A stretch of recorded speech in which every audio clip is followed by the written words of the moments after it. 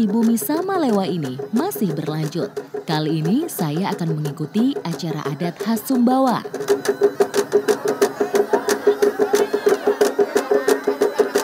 Ini sudah ramai dan meriah sekali sepertinya keluarga dan juga tamu undangan sudah pada hadir nih. Ini saya mau mengikuti kegiatan nyorong di Sumbawa dan ini karena ibu-ibu sudah cantik banget, saya nggak mau kalah cantik nih ya. Upacara nyorong merupakan salah satu prosesi pernikahan putra-putri Sumbawa. Adat nyorong ini biasa dilaksanakan setelah bakatoan atau lamaran.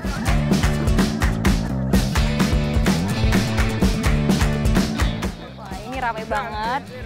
Ini dia nih mempelai laki-lakinya. Ini kayaknya lagi deg-degan nih, grogi nih, bentar lagi dimulai.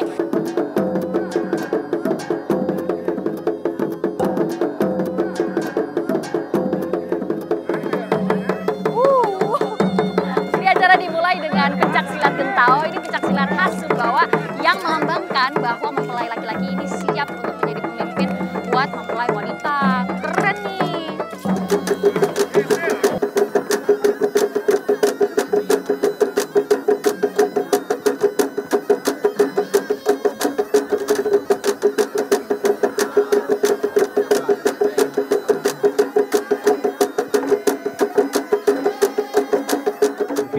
Terima kasih.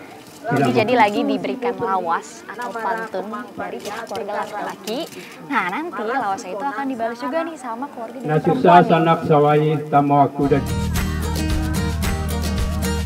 Belawas ini melambangkan cintanya mempelai pria dan sebagai simbol silaturahmi antar keluarga. Wah, uh, banyak ya. Ini dia nih seserahan dari keluarga pria buat wanita. Ada juga berbagai sembako dan hasil kebun lain yang dijadikan seserahan. Dan yang paling utama adalah mahar kerbau yang melambangkan strata keluarga pada lingkungan masyarakatnya.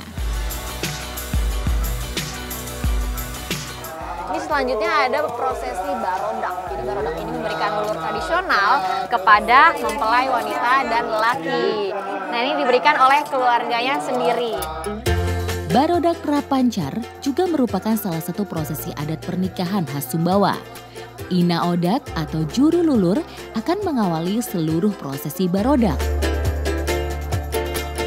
Di sini ada pacar, ada bore, dan prosesi ini sebenarnya dipercayai ini bakal eh, selain memberi kecantikan, ini juga dipercaya akan mengangkat aura dari kedua mempelai wanita dan laki-laki. Tapi memang kalau aura bahagia karena dipertemukan dengan jodoh itu kayak nggak bohong ya. Itu tadi tuh auranya positif sekali.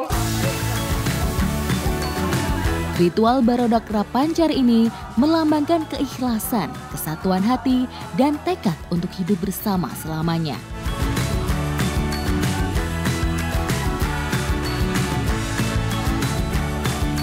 Oh, kalau pancar ini dikasihnya di tangan. Ini juga, oh ini satu lagi. Ini kakak. Semoga lancar kakak. Nah, yang ketiga. Oh, kalau bore ini dipasang. Oh, di dahi terus di telinga. oh kalau yang bore ini ditembakkan di dahi dan di telinga. Nih, saya mau kasih juga nih. Iya. Maju aja, maju aja. Maju nak, maju nak. Permisi, maaf. Ritual ini dipercaya dapat memutihkan kedua mempelai dari sifat iri dan dengki. Saya dipasangin juga nih. Walaupun saya nggak nikah, apa ini saya didoain sama Iya, iya, ibunya? iya. Ini nih, lagi. Oh, Ini, oh dipasangin ini juga. lagi. Ah. Ah, ini saya anggap doa ya ibu, Ya, semoga bisa menyusul. jodoh ya. Waduh.